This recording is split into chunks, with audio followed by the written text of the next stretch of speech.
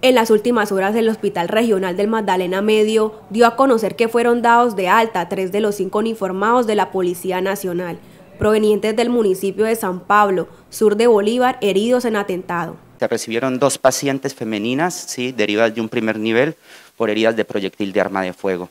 Una de ellas de 25 años que presentó una herida en antebrazo izquierdo tercio proximal, a la cual se documentó una fractura multifragmentaria Gustilo 3A que requirió manejo de urgencias con toaleta quirúrgica, inmovilización y manejo de antibiótico-terapia.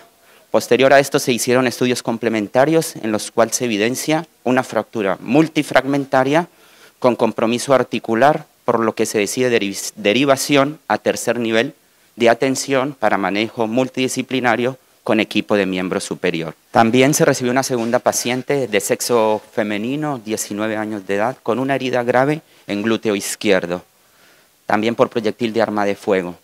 En el manejo inicial se realizó una toaleta quirúrgica, un debridamiento y afrontamiento de la misma. Eh, se descartó lesión vascular con un ecodoppler y con pulsos periféricos positivos.